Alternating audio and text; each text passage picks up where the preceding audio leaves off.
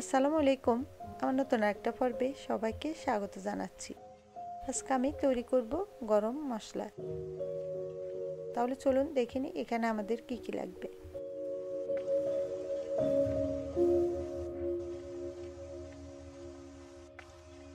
এখানে আমি নিয়েছি জিরা দু টেবিল চামচ, সবুজ এলাচ এক টেবিল চামচ, জয়ফল একটা, ধনিয়া এক টেবিল চামচ শাহি জিরা, দুই টেবিল চামচ। শুকনো মরিচ, সাতটা। দারুচিনি, তিনটে। মৌরি, এক চা চামচ। জয়ত্রী, এক টেবিল চামচ হবে।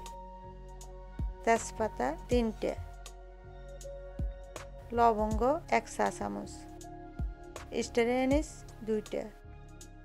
কাবাব চিনি, এক টেবিল চামচ।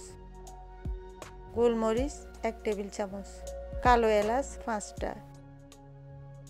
এবার বড় মশলাগুলো আমি একটু ছোট ছোট পিস করে তারপর ফ্রাই প্যানে আগুনটা একদম লোতে রেখে হালকা একটু টেলে নেব। আগুনটা একদম লোতে রাখতে হবে, না হলে ছোট মশলাগুলো পুড়ে যেতে পারে।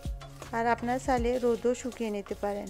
এরপর আমি আগুনটা লোতে রেখে হালকা একটু টেলে তারপর আমি ব্লেন্ড করে নেব। এভাবে যদি আমরা একবারে বেশি করে বানিয়ে তারপরে গরম মশলাটা এয়ারটাইট একটা জারে রেখে দিতে পারি। তাহলে যে কোনো সময় আমরা কোনো মাংস বা বিরিয়ানি আমরা সহজে রান্না করে নিতে পারি। আর এই মশলা দিয়ে রান্না করলে মাংসটা অনেক মজা হয়। ব্ল্যান্ড করে একটা এয়ারটাইট জারে আমি রেখে দিব। আর আসছে এই কোরবানে, আপনারা আগে বানিয়ে এভাবে একটা এয়ারটার জারে রেখে দিবেন, তাহলে কোনো মাংস আমরা সহজে রান্না করে নিতে পারব। আর আশা করি আমার আজকের এই রেসিপিটা আপনাদের ভালো লেগেছে। আর আমার রেসিপিটা যদি ভালো লেগে থাকে, আমার চ্যানেলটাকে লাইক কমেন্ট এবং সাবস্ক্রাইব করবেন। আল্লাহ হাফেজ, সবাই ভালো থাকবেন।